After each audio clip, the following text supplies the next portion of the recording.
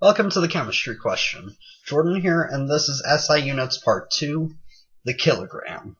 We're going to look at exactly how the kilogram has been defined throughout history and how it is currently defined and how it may be defined in the future. So originally, 1 gram was defined as the mass of 1 milliliter of water at 4 degrees Celsius.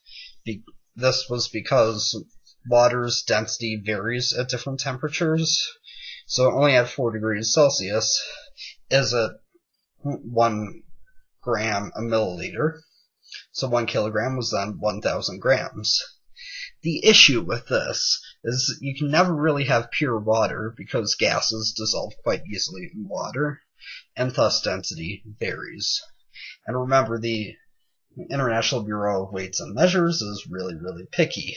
So they came up with this, the International Prototype Kilogram, an alloy of iridium and platinum, which is sealed under a vacuum under three bell jars.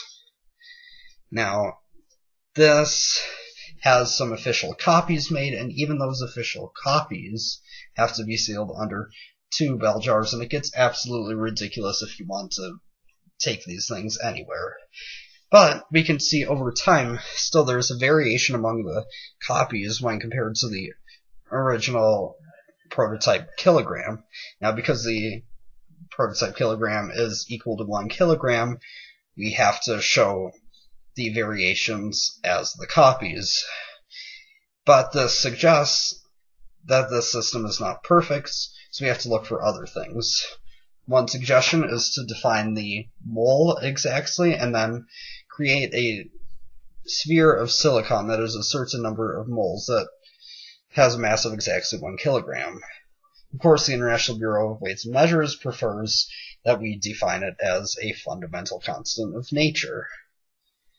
As since 1960, it has been the only SI unit defined by an object.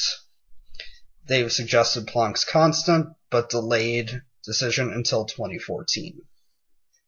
Thank you for watching the chemistry question. Be sure to subscribe. Leave any questions or suggestions in the comments below. Until next time.